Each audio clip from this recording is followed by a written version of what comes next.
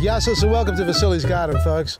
Now we're revisiting our citrus tree here that we came to about a week ago to give it a treatment because we realised after talking about top dressing and fertilising our citrus trees, I discovered that this one here was being infested or attacked.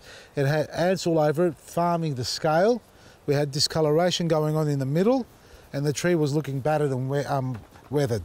So what we did back then, just to recap, is we actually top dressed it with our planting mix. Now I haven't watered out here today, and we've had a lot of high wind, but you can see, look at this. We should go back to the other video and show that I couldn't actually put my fingers in the soil because it was so bloody hard and the water wasn't penetrating through.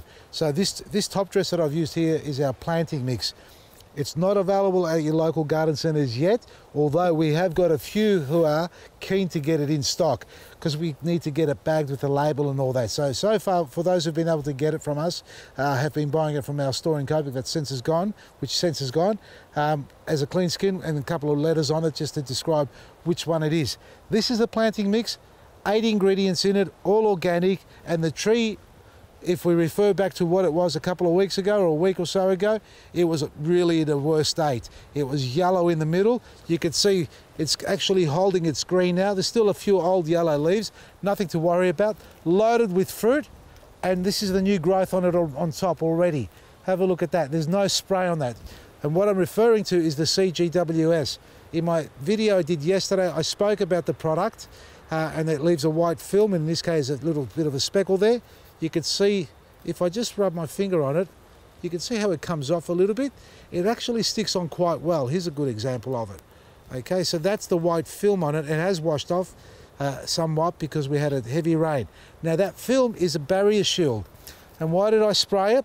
Well I discovered we had scale on here and ants marching up and down so first we treated the soil with our planting mix so we can get some nutrients back into the plant. And that's the stuff you want to be applying to all your garden and pot plants to actually rebuild the life in the soil because that bag is basically a bag full of life, bag full of good bacteria and fungi. And then second to that, we actually wrapped around this, all I did, because I didn't have a team to do it, I did it on my own, I wrapped around uh, grafting tape or the bio tape similar to your glad wrap. So if you don't want to buy the biotape, you can just use kitchen old, old kitchen glad wrap, wrap it around, so create a, a barrier about four inches, five inches high. But on top of that, I applied the product called Tree Guard. It's a sort of a gooey paste that sits on there and it does run down when it gets a little bit hot. See it's run down here, but it's still gooey and sticky. See that, how it sticks? Now that creates a barrier, a ring barrier around the trunk stopping the ants from traveling up and down. And having a look here, you can see the ants are still active.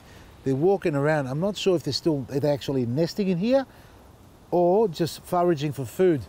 But what we have got up here is scale. And why I sprayed it here is to prevent any further infestation of citrus leaf miner, because that's something that's happening quite a lot at this time of the year, and stop the ants, so deter the ants from farming up there. So we created a tree guard or barrier and a shield over the top.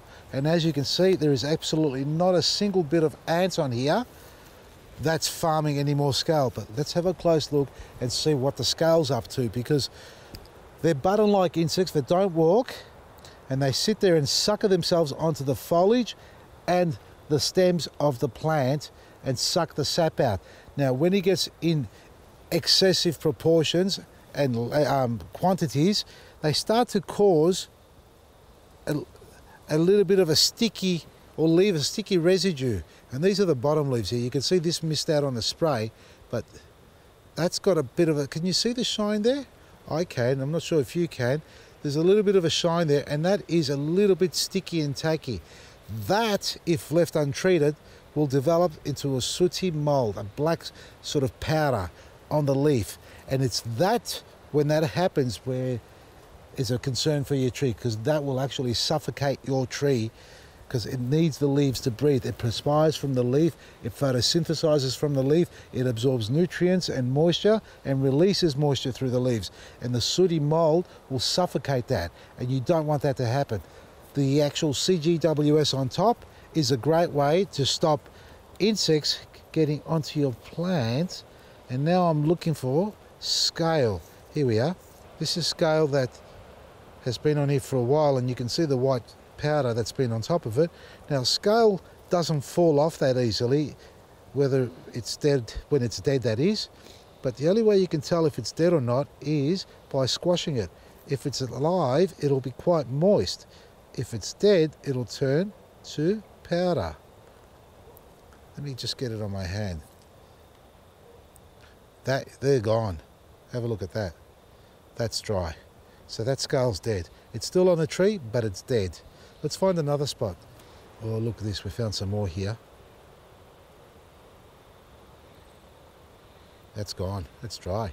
So maybe the CGWS has worked. Now, you may be questioning me and thinking, wait a second, were they dead before you sprayed it? Well, let me put it to you this way. Were there ants all over the tree? Because they don't kill them. They actually farm them so they, they want them to multiply because what they excrete, excrete is that um, sweet nectar, let's call it, uh, from the scale, which is honey like honeydew for the ants and they feed off that. So let's find some more scale. What did I put the glasses away? I can't see anything without my glasses. I don't see any scale here. Oh, up here, up here, here, here, here.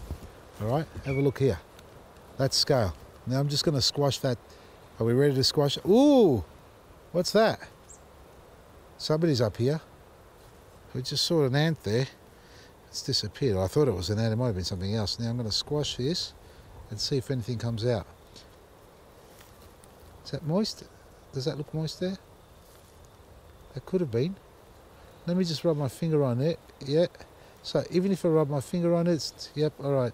I'm just looking for that sheen to come out. Yeah, that's moist. So these are alive. What about this one? This one's alive. All right, so you can see all that liquid coming out there, all that juicy stuff. All right, so that's alive. These ones are alive, folks. I'm going to squash these ones too on this side. Yep, I saw it. See my nail? Can you see it there? So these ones are alive, folks.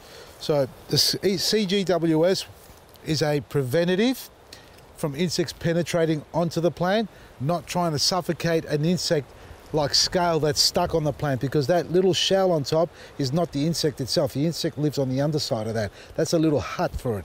So we've got to use something like an oil base and the best oil base is the one straight out of your pantry folks. You don't need to be buying everything to protect your garden. You can make your own compost you can make your own fertilizers and you can make your own insecticides. And in this case here I recommend you use a teaspoon to a tablespoon of olive oil two drops of earth friendly dishwashing liquid in one litre of water and spray it to the point of dripping runoff. And that way you will suffocate the insect and eventually dehydrate it to the point where it becomes dry and brittle when you touch it and turns to dust. So that's what you're going to do with the scale. Otherwise, look out for leaf miner on the new leaves because it will cause them to twist and turn and buckle and cause the tree to go backwards. This tree is a little bit yellow because it needed a feed. We fed it, keep the hydration up. We've got lots of fruit all over it. Okay, everywhere you look, there is fruit, lots of fruit. And it is safe to spray the CGWS on the fruit because it simply just washes off with a little bit of water. You can see I'm just wiping it off like that there, folks. So, look after your citrus trees because it is a season for citrus to get them ready right into autumn, winter when they start to grow their fruit and ripen it. And make sure you feed them well. Now, if you're looking for something from our website, folks, we still are delivering to homes. Not a huge range, but we have got our black grit small sizes, CGWS, our superfoods available. But you can also click and collect from our Lethbridge store. Now, if you're looking for a store near you in whatever state you are, simply go to our website, vasilisgarden.com, click on the stockist page and the drop down menu with all the different states. Select your state and scroll through to find a store near you.